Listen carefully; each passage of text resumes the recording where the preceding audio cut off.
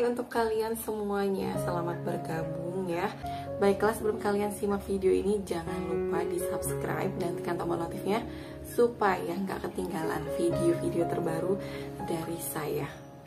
Baiklah kalau sudah di subscribe Terima kasih ya.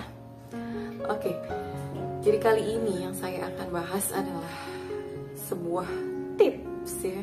Sebuah tips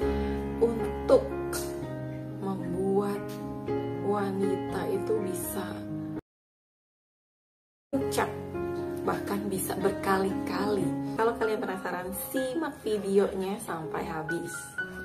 Tips yang pertama jadi kamu sebagai pasangannya itu harus membuat dia percaya diri ya lebih pede. Nah ketika uh, dia merasa percaya diri gitu dia tuh bakalan maksimal bakalan lepas. Jadi nggak ada rasa malu-malunya gitu loh.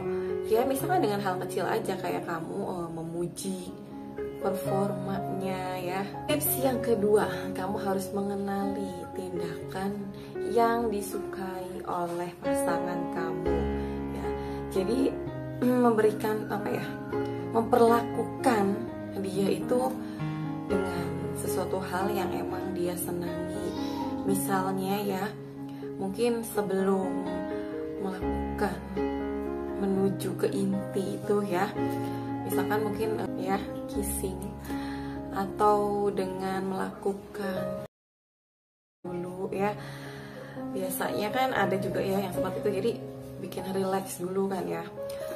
Lalu biasanya ada juga nih yang sering sekali yaitu dengan rayuan-rayuan ya kata-kata manis tadi ya kita melakukan sesuatu yang membuat si pasangan kita ini tergoda seperti itu.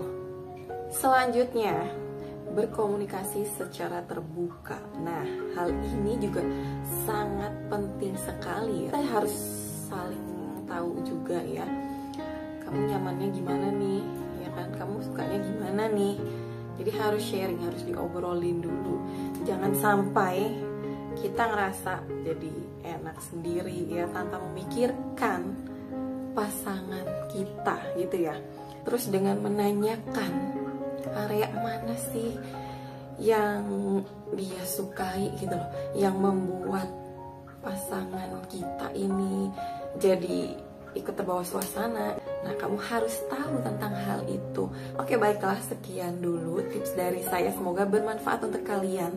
Terima kasih untuk kamu yang sudah menyimak video ini. Jangan lupa like, komen, dan subscribe. Kita jumpa lagi di video berikutnya.